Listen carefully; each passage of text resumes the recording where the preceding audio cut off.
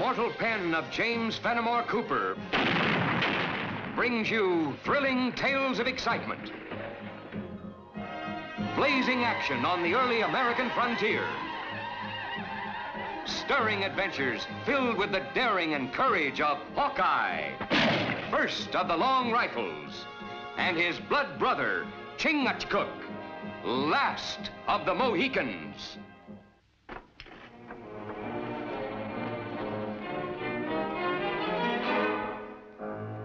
We can talk better without guns, Barton. I got nothing to say to you. You might be a whole lot safer talking Kane instead of against him. Voting for him be even better. I'd rather be dead than vote for that swine. No! You're breaking my arm! A man's neck breaks just as easy. Now, who are you going to be voting for? I'm losing my patience, Barton. Now, let me hear it. Who are you going to be voting for? Kane! The whole thing louder and clearer. I'm voting for Ryder Kane. Just the way I'm going to want to hear you say it at the assembly meeting. Just don't forget, it ain't everywhere in the world a man's got the right to vote the way he sees fit.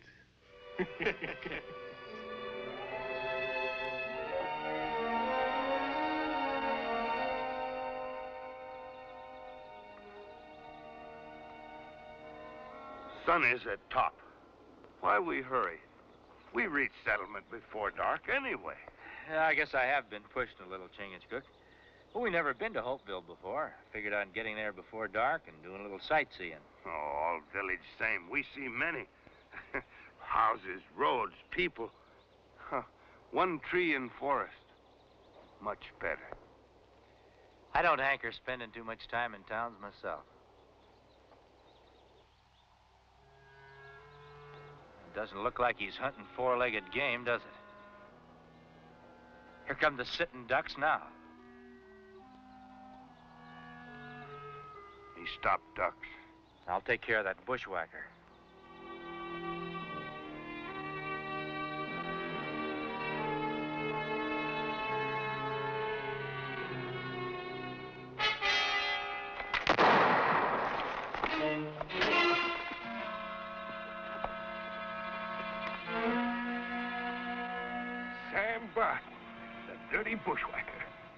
It appears to me he's the victim of his own ambush. That shot, did you? His gun went off out of plain surprise. But he did run into my fist. He'll be coming to in a minute. Why, that low-down ambushing skunk. He might be all you say he is, mister. But that's no reason to mark yourself with murder. It ain't murder to kill a snake before he gets his fangs into you. Snake? Skunk? All I see lying there is a human being with a right to a fair trial no matter what he's done. I'll give him a fair trial. Let's take him in, Mr. Kane. Chingachgook and me are heading for Hopeville. Be no trouble at all for us to take him in. I'm the one he tried to murder, stranger. And I'm the one that's going to take him in. Now get out of my way. Lyman, does it matter who takes Barton into the sheriff? Well, how do we know this stranger ain't going to turn him loose? I'm sure he won't. After all, he did save us from an ambush. Look me up when you get to Hopeville. I'd like to thank you properly. Ask anybody there for Ryder Kane. Angry one. A bay, smooth-tongued one. Like squaw. There's power in that smoothness, Chingachgook. Like a fine steel blade. All right, Mr. Barton. You can stop playing possum and get to your feet now. It's safe. They've gone. Reckoned I'd live a mite longer playing dead. I don't know if I should thank you for keeping me from damning my soul as a bushwhacker or to cuss you for stopping me from stamping out them two vermin. Mr. Barton, I'd choose thanking, because I don't hold a bushwhacking any more than I do shooting a man when he's lying down. Tweren't easy forcing myself to wait for them behind that tree. My insides are tortured. Part of me knowing I got no right to take human life. But most of me hoping the good Lord will have mercy on me for ridding this territory of the evil of Ryder Kane. We've heard of Ryder Kane. Could be part of the reason why we're headed for Hopeville. What business would you have with Ryder Kane, stranger? Don't know yet.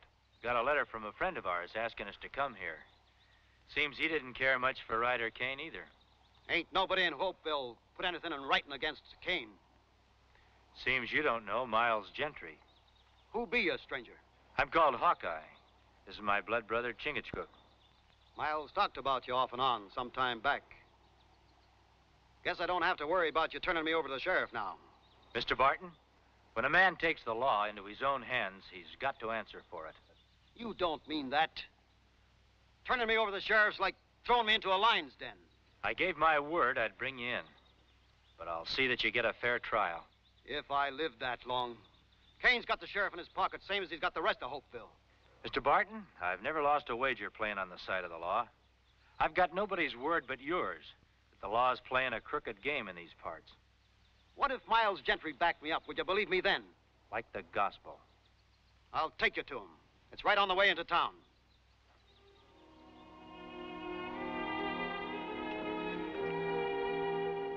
Told you I'd take you to Miles Gentry. Well, there he is. See what's written there? Them's his own words. It was like he was expecting to be killed. There's Will Hawkins. Will could have told you about Ryder Kane. Or Chub Wilson. My brother. He believed in Ryder Kane, worked for him. And when he found out what Kane was up to, it tore him up all inside. He ran to get as far away as he could. But Kane and his men caught up to him. Would you call me a bushwhacker for trying to rid ourselves of this murderer? What you say is true, Mr. Barton. No jury would pin that name on you. Them jurymen will be thinking of their own necks, not mine. Kane's got a plan, Hawkeye. He runs Hopeville. And day after tomorrow, when he gets himself named permanent chairman of the assembly, he'll have his grip over the whole territory. And everybody at his mercy. Bleeding every shilling and farthing he can out of our sweat and toil. You got any proof of this? A letter my brother sent me before he was killed. Well, anybody could write anything in a letter. Kane would just laugh it off. Ralph knew Kane was going to kill him. He wrote that down. And he told everything about how Kane planned these murders. Naming names, giving dates. Even about Miles Gentry. I got the letter same day Miles was killed. Then that letter would be valuable evidence in a court of law. I'd like to see it. Where I've got it hid is in the opposite direction from the jail. I reckon it'll have to keep, Barton.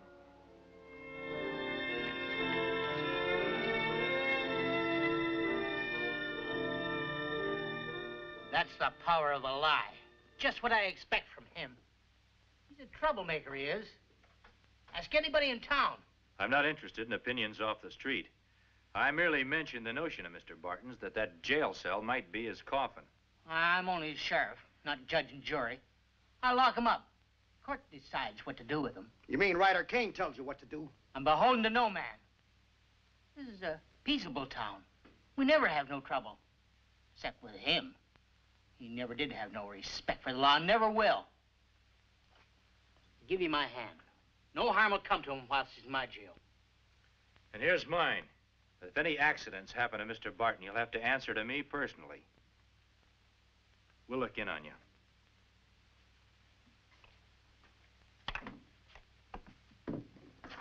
Get in that cell.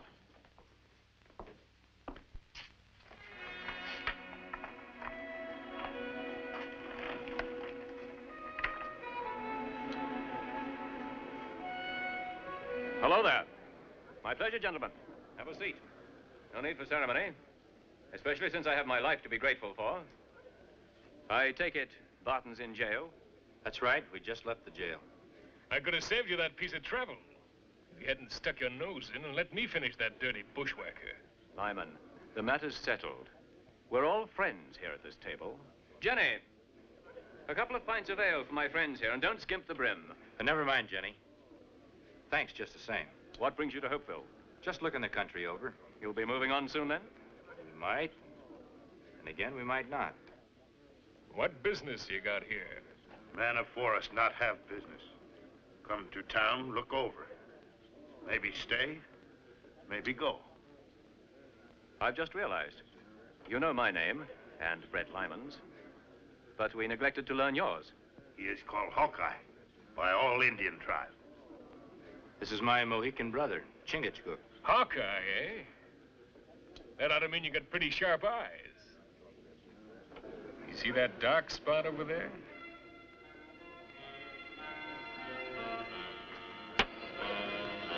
And that's without looking. That's a pretty good toss.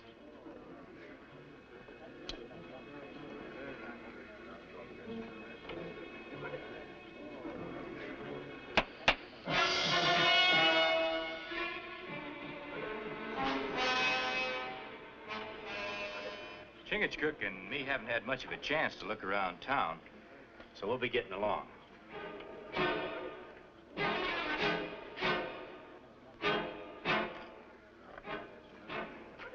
Chingachgook. Here's yours, Mr. Lyman.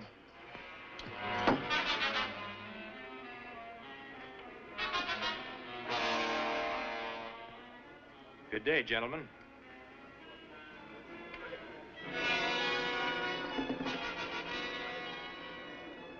Keep out of his way, Lyman.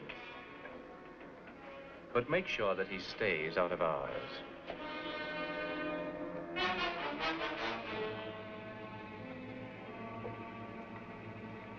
Let's mosey over there and see if we can find out why these folks act like we got the plague.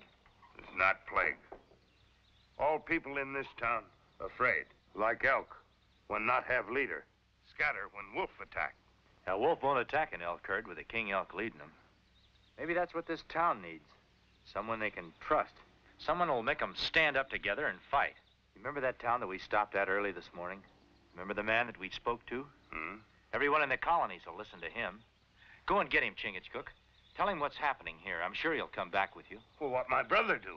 I'm going to get that letter from Mr. Barton.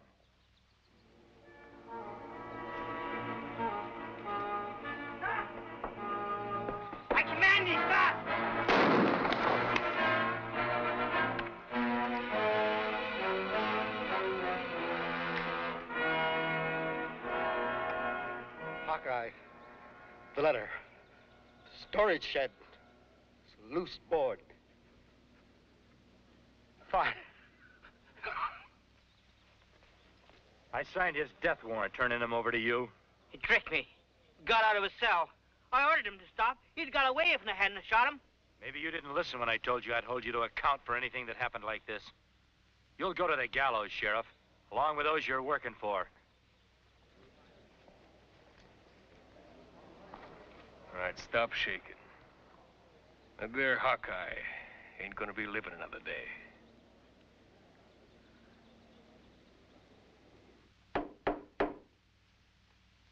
A warm stall for my horse and the best grain. And uh, see to it you rub her down well, Ostler. I promised her that consideration for her extra duty tonight. Ah, a bit of warmth. Be prudent not to let it waste.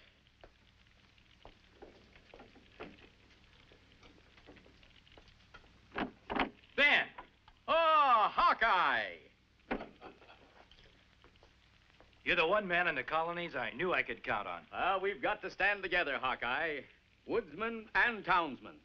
Else, how am I ever going to convince the politicians that my plan of colonial union is vital to all of us? Ah, but come. I'll sign the register and we can discuss matters in the comfort of my room. Thank you, lass.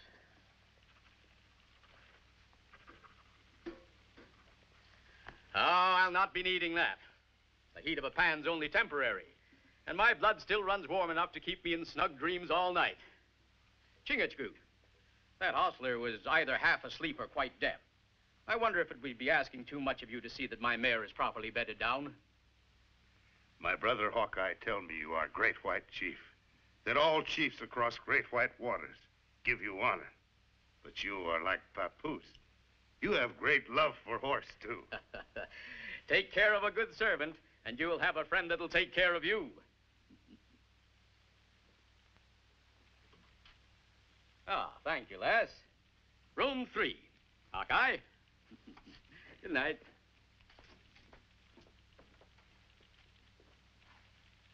Good jaws hanging loose, Jenny.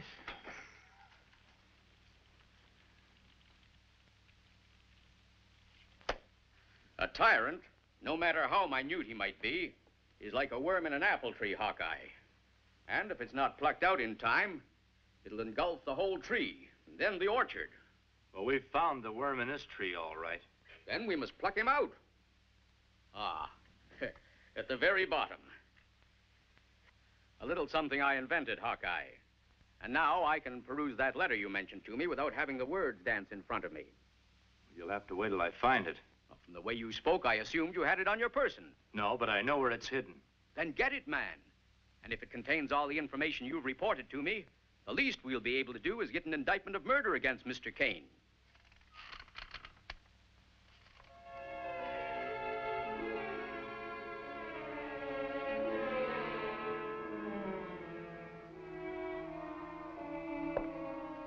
The rat scurry into his hole?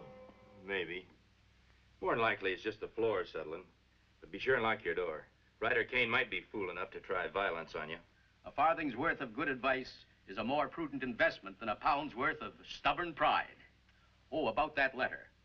It would be most effective if I were to have it to present to the Assembly before the election takes place. Good night. Good night, Hawkeye.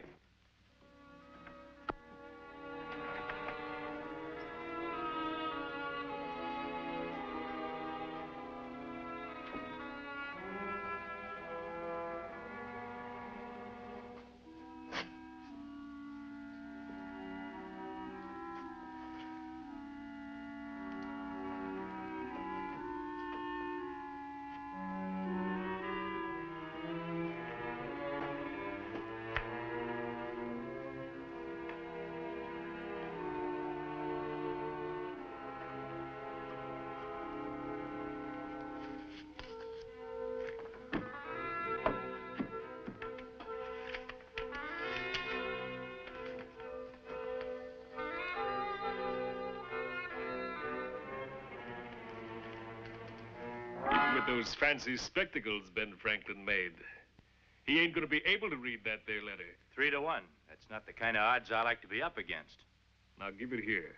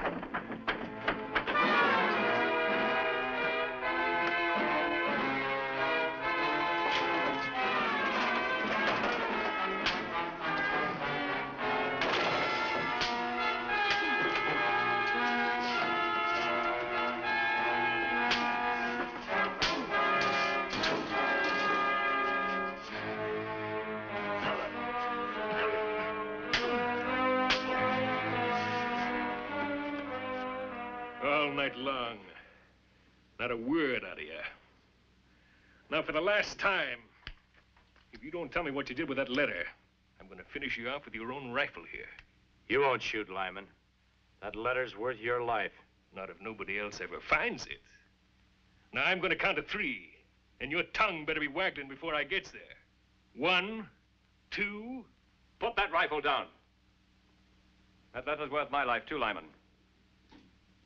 But letter or no letter, in a few hours, I'm going to be elected permanent chairman of the Assembly.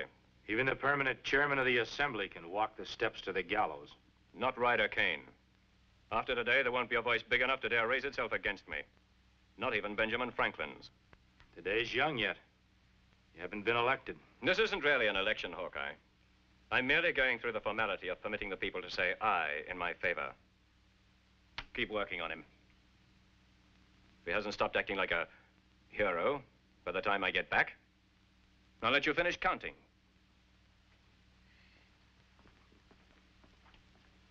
much as I want that letter, Hawkeye, I'm kind of hoping that you won't break.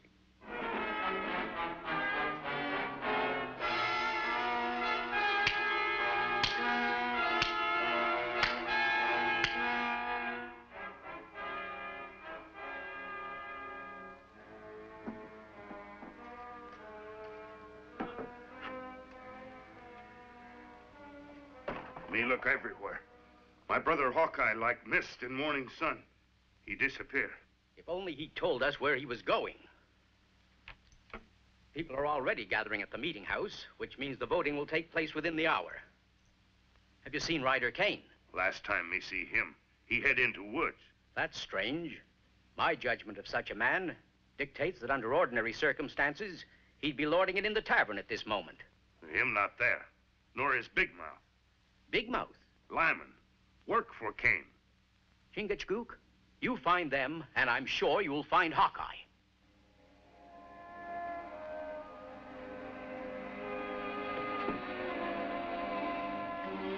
I'm not waiting for Kane. Forgot to tell you, it isn't loaded. Maybe not with ball and powder. There's something in here, all right. Looks like a piece of paper. Be that letter, could it? Find something to get it out. Oh. Ah! Me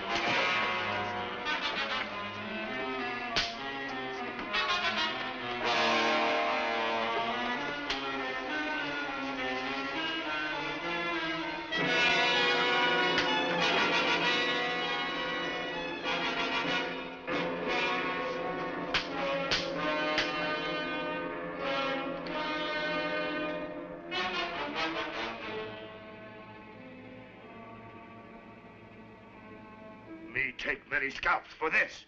Now just untie me and get me on my feet. Any scalps to be taken around here will be done by Ben Franklin. All right, my brother.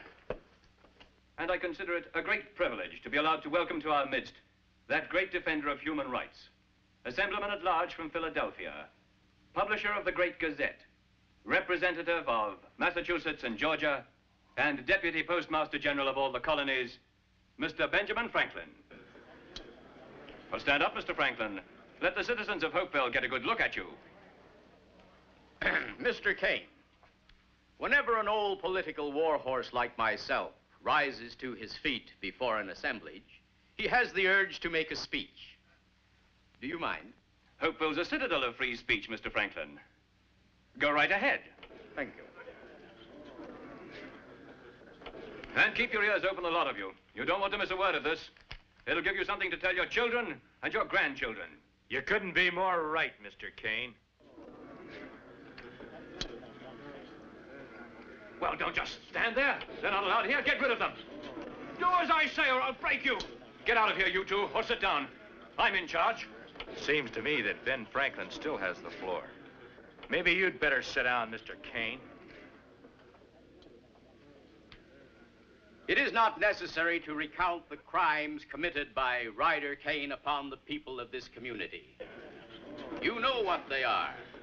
It just remains for me to place the contents of this letter into the hands of the proper authorities. And as fate has decreed for all tyrants since time immemorial, justice will be done. As for those words Mr. Kane promised I'd give you to hand down to posterity, let me add this, my friends. You are the citizens of a great new world. In this wilderness, you are planting the seeds of what must surely become a great and glorious civilization. Have faith in yourselves and in your neighbors. White chief, speak. And your with sons' golden tongue. sons Better than that, endless Chingachgook. With a golden heart. Thank you for their most priceless possession, their blessed inheritance of freedom.